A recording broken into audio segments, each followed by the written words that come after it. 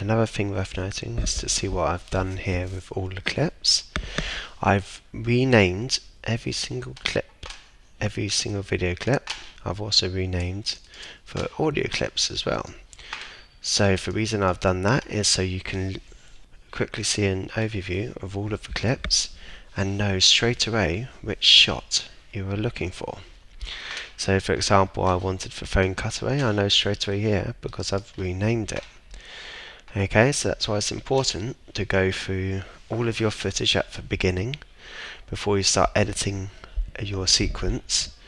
A, to get an overall view or overall sense of your footage you've shot and also so you can go through and rename all of your footage so you can quickly know where to find your footage.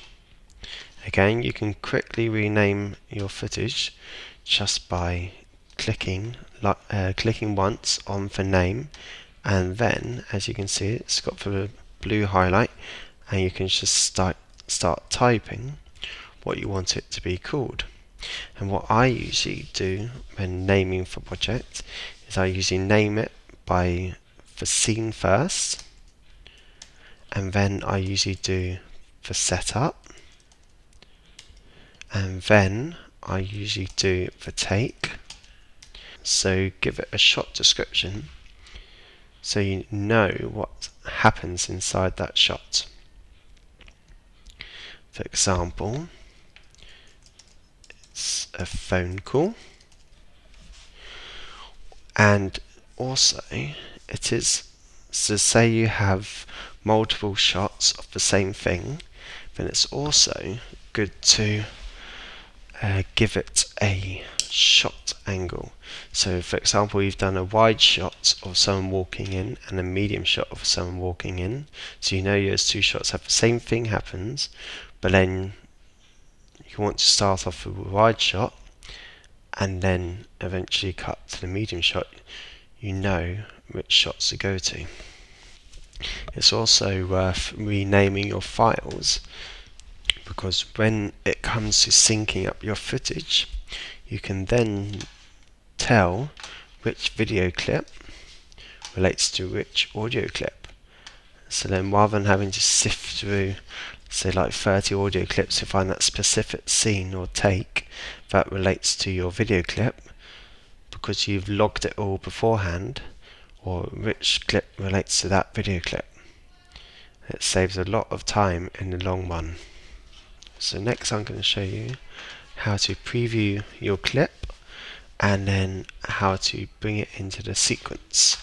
So for starters, let's try and find so it's always good to start off uh, with a wide, like the widest shot to switch to the icon view and then that way you can see through the thumbnails which shot is the widest shot okay so I mean I'm gonna start because I know the guy here is the first person to speak in the scene.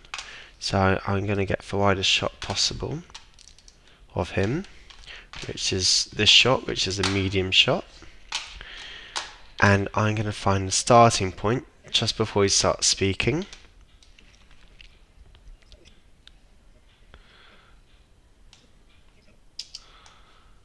So you can press uh, the spacebar to be able to play your clip back.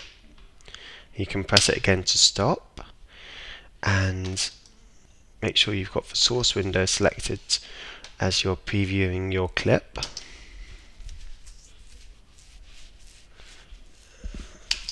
And then wait for the bit where the director shouts action and then you want to set an in point which you can do with the letter I and now you want to set the out point which you can use by pressing the letter O.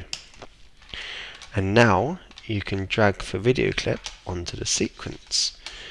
But one thing also worth noting is you can just drag for video only if you want or drag for audio only. So you can see the difference by See there you've got for video and audio.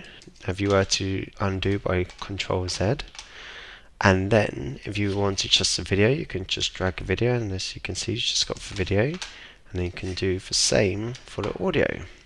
And also see what I'm doing here is that I'm dragging it onto V1 and A1 that is because you want V1 typically for your general cut for your actual footage and then A1 in the long run you want A1 to be your final audio your final like dialogue. So A1 is usually left for dialogue, whereas A2 can be used for like music or like sound effects. So what you want to do with the video and audio tracks is to leave each track designated for each type of clip. Okay, so I'm going to drag both the video and for audio into the sequence. So what it does when you drag for video and for audio into the sequence, it then creates a sequence that matches your video settings. So now let's find the point when the doctor, the guy he's talking to, starts speaking. And again, I'm going to try and find the widest shot possible for him, which is this shot here. And then I'm going to find a point when the doctor starts speaking.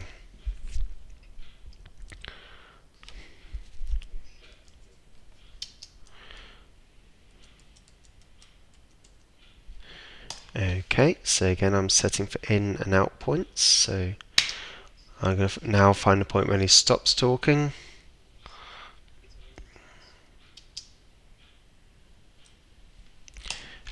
And now I'm going to drag it into the sequence. And then I'm making sure when I'm dragging it into the sequence I'm snapping it to the end of the first clip. Okay? But